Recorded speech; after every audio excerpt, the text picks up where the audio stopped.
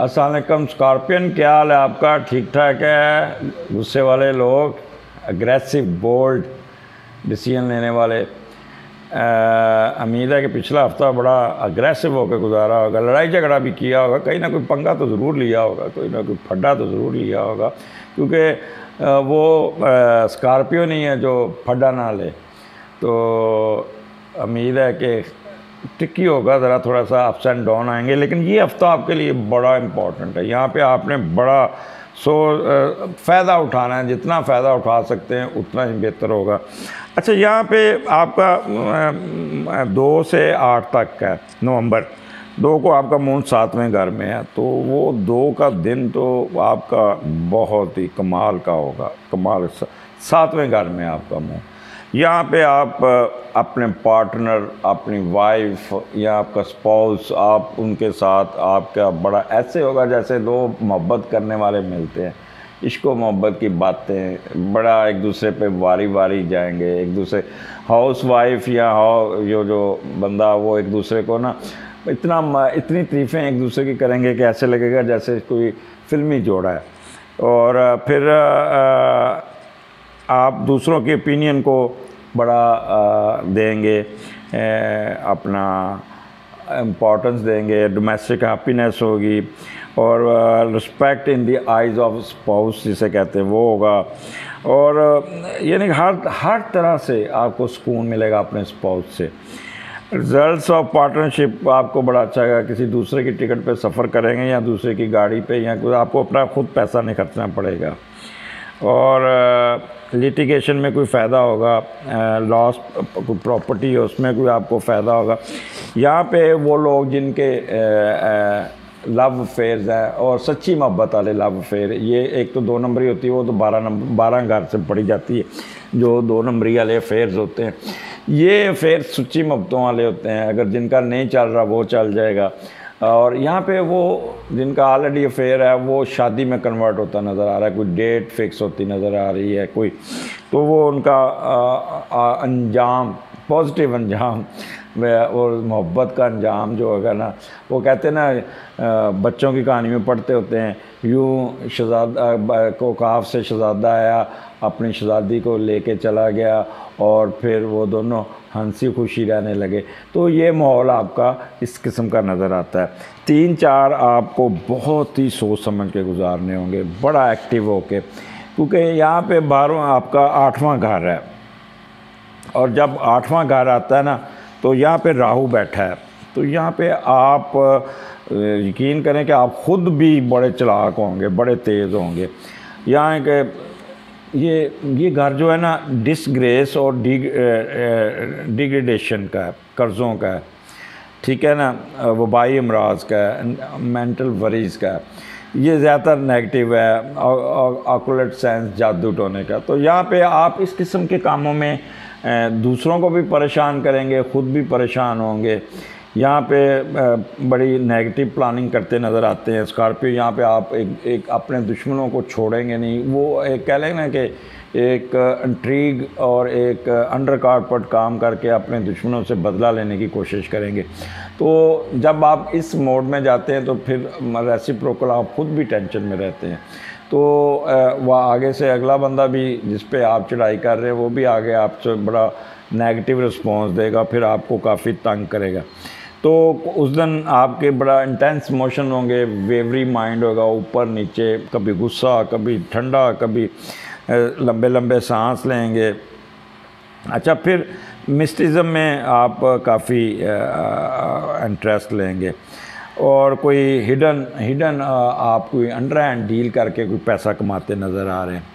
यहाँ पे आपकी वाइफ का दूसरा घर बनता है तो वहाँ से भी आपको, आप उस, उनको वाइफ को या अपने स्पाउस को डॉज दे के पैसे निकाल लेंगे।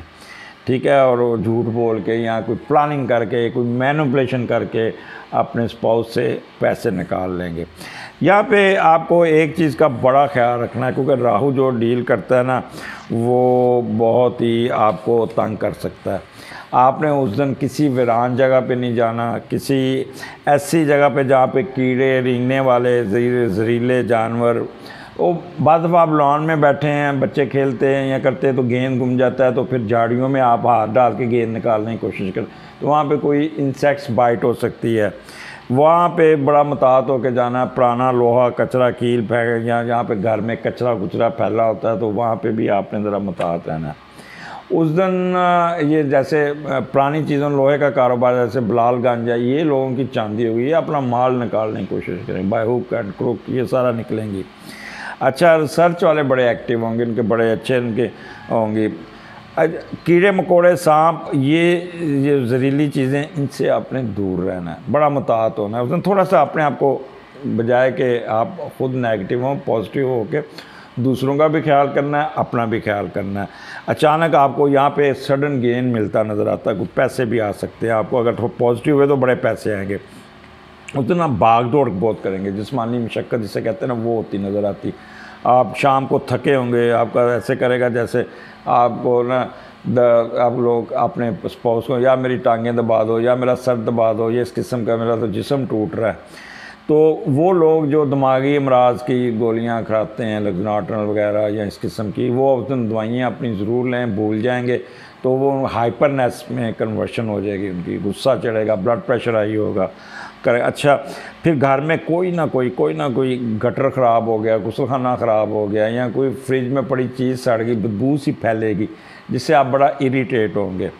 वो लोग ख़ास तौर पे आपने अपने वेपन्स को साफ़ करते हुए बड़ा मतात होकर करना है। सिगरेट, औज़ार, हार्डवेयर, कंस्ट्रक्शन खेती बाड़ी के औज़ार, कंप्यूटर, ये लोग बड़े एक्टिव होंगे, बड़े एक्टिव होंगे, चुराकी से इनकी सेल करेंगे, काफ़ी और आप भाग दौड़ करते नज़र आ रहे हैं।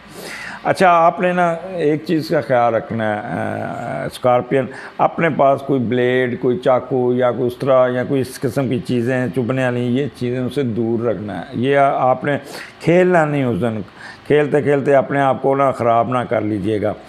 और किसी किस्म का आपने अच्छा फिर मिर्च मसाले वाली चीज़ें नहीं स्पाइसी चीज़ें खाते नज़र आ रहे हैं, जिससे आपका मैदा ख़राब हो जाएगा। और कोई ओल्ड व्हीकल्स जो होगी ना, वो आपको तंग करेगी। और अपना अच्छा यहाँ पे ये आठवां घर मिस कैरेज का भी है, वो लोग जो खातन जो प्रेगनेंट हैं they should be extraordinary vigilant about their health miscarriage के ख़ास तौर पे जो सेकंड कंसेप्शन है और यहाँ कोई ऑलरेडी कंसीव किया हुआ है और प्रेग्नेंट है तो कोई ऐसा काम, क्योंकि ये मशक्क़त वाला दिन है तो कोई घर का कोई काम आप वज़न उठा रही हैं या सफ़ाई कर रही हैं या आप बेड खींच रही हैं तो उससे ना आपको गायनी के प्रॉब्लम आ सकते हैं। लिहाजा ये दो दिन खुद, आपने ना बहुत केयरफुल रहना है। और फिर धुएँ से दूर रहना है। आपने ये एक चीज़ बता दूँ कि धुआँ आपको बड़ा तंग करेगा। और ड्रग्स जो है ना डॉक्टर से पूछे हुए ड्रग्स नहीं लेनी। अब आ जाएँ आपका चौथा घर में मून लियो में। यहाँ पे आप ऐसी जगह पे जाते नज़र आ रहे हैं जहाँ पे आपको ऑनर मिलेगा रिस्पेक्ट मिलेगी, आपकी वहाँ पे इज़्ज़त में इजाफा होता है। ऐसे प्रोटोकॉल मिलेगा जैसे आपको, आप बड़ी इंपॉर्टेंट चीज़ है। यहाँ पे आपको बूस्ट मिलता नज़र आ रहा है। अगर आप बिज़नेस मैन हैं तो बिज़नेस में बूस्ट मिल रहा है। अगर आप मुलाजमत पेशा हजरात हैं तो you will be admired you will be appreciated you will be rewarded by your bosses and higher authorities तो उस दिन ये आपका स्कॉर्पियन, ये आपका अपना दिन होगा। यहाँ पे आप बड़े अच्छे अच्छे कपड़े, बड़े अच्छे ख़वान ख़ास तौर पर बड़ी ज्वेलरी, मेकअप और ये वो करती हुई किसी शादी पे जाएँगी। और वो वहाँ पे देख के ना लोग कहेंगे वो ये कितनी अच्छी साड़ी पहनी है, कितने अच्छे कपड़े पहने ये ज्वेलरी कहाँ से ख़रीदी? ये ये कहाँ से ये आपने ये कंगन बड़े अच्छे पहने? अगर आप मेल है तो ये कहेंगे ये टाई कितनी अच्छी लगाई आपने, सूट बड़ा अच्छा पहना शर्ट बड़ी अच्छी पहन इस किस्म की बातें सुनने को मिलेंगी।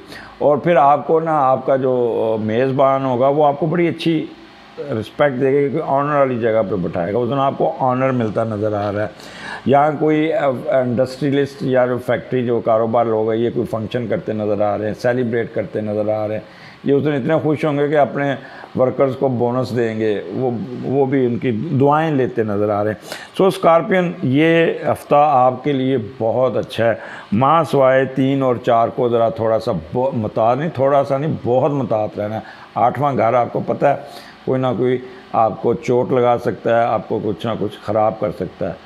तो मुझे इजाज़त दीजिए, मेरे चैनल को सब्सक्राइब ज़रूर कीजिएगा। और मैं एक चीज़ बता रहा हूँ मैंने स्मॉग पे प्रोग्राम किया है वो ज़रूर आप देखिएगा मेरे रहीम चैनल पे। इसमें लिंक डाला हुआ है, उसको देख के पूरा प्रोग्राम सुनिएगा, आपको बड़ी काम की बातें मिलेंगी। और ख़ास तौर पे ये जो अगले तीन महीने हैं ना, बहुत फैटल इस दफ़ा स्मॉग आ रही है। तो आपने केयरफुल रहना है। मुझे इजाज़त दीजिए। अल्लाह हाफिज़।